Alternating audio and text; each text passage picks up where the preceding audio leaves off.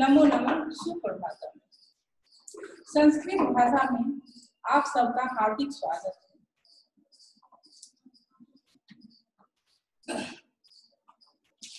कल हम लोग लकार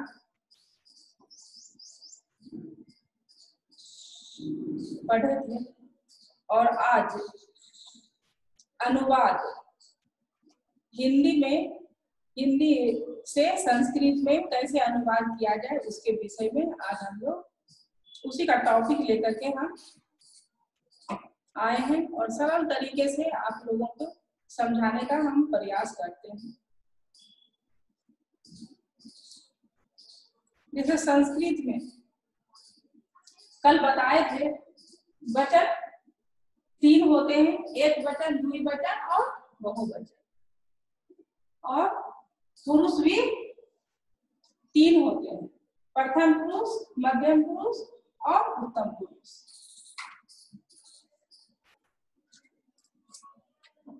अब देखिए, प्रथम पुरुष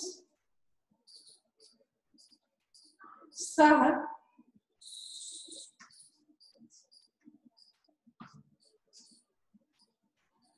सह का अर्थ होता है वह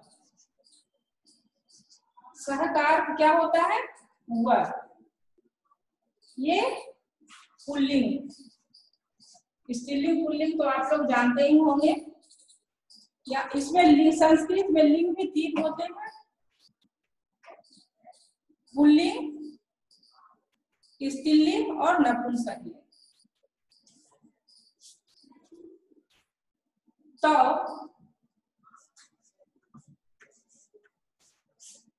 तो का अर्थ होता है वे दोनों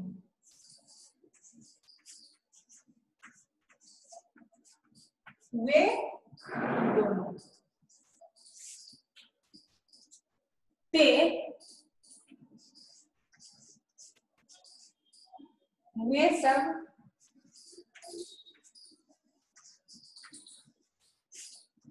सब या वे लोग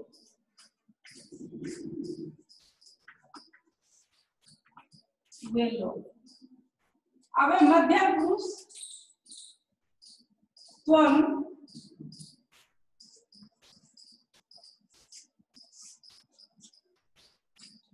का अर्थ होता है तुम।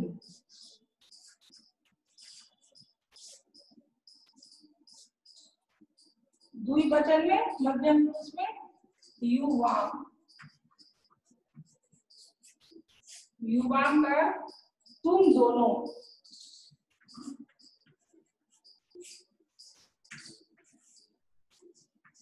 तुम दोनों युयम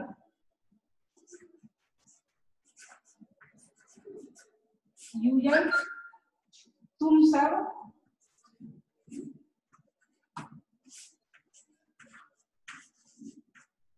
तुम सब या तुम लोग?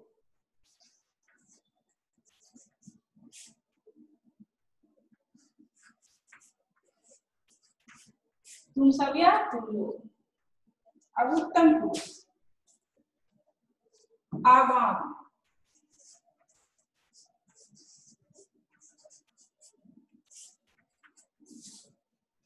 हम दोनों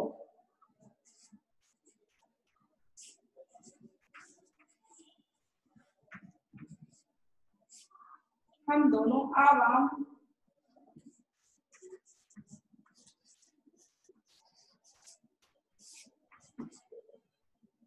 हम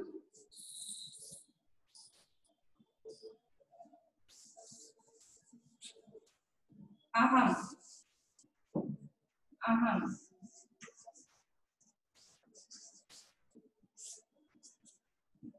यहाँ होगा मन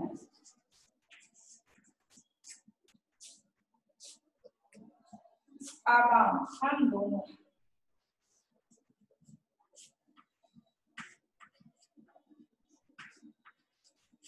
हम दोनों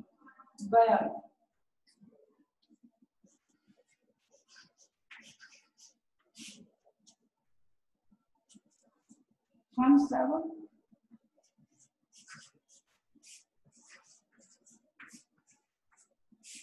हम सब या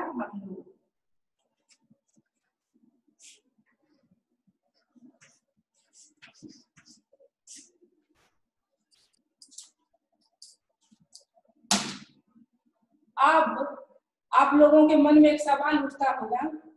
पहले मैं इसको क्लियर कर देती हूँ। एक वचन, द्विवचन बहुवचन। एक वचन में एक का बोध होता है द्विवचन में दो का बोध होता है और बहुवचन में दो से अधिक का बोध होता है। और प्रथम पुरुष, मध्यम पुरुष और उत्तम पुरुष के विषय में भी आप लोगों के मन में सवाल उठता होगा ये है क्या? तो प्रथम पुरुष, जिसके विषय में कहा जाए, उसे प्रथम पुरुष कहते हैं मध्यम पुरुष, जिसको सीधे कहा जाए, उसे मध्यम पुरुष कहते हैं और उत्तम पुरुष। जो वक्ता हो, जो बोलता हो, जैसे मैं बोल रही हूँ तो वो उत्तम पुरुष है। ठीक है, इतना बात समझ में आ गई आप लोगों को? अब हम वाक्य बनाते हैं। अनुवाद करेंगे संस्कृत में, जैसे प्रथम पुरुष एक वचन में वह पढ़ता है। वह वह पढ़ता है।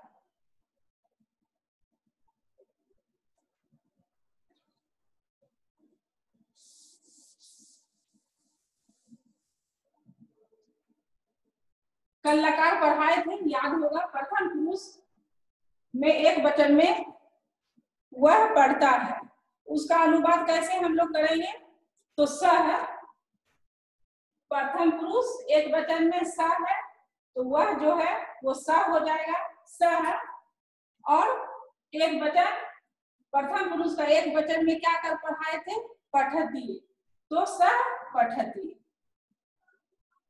संस्कृत में इसी तरह से अनुवाद होगा। वह पढ़ता है तो स पठती।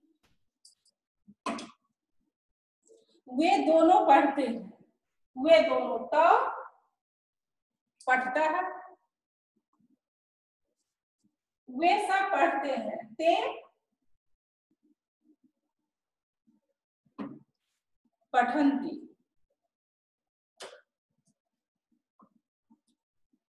इसको आप लोग लिख लीजिएगा और इसको याद कर लीजिएगा। धन्यवाद।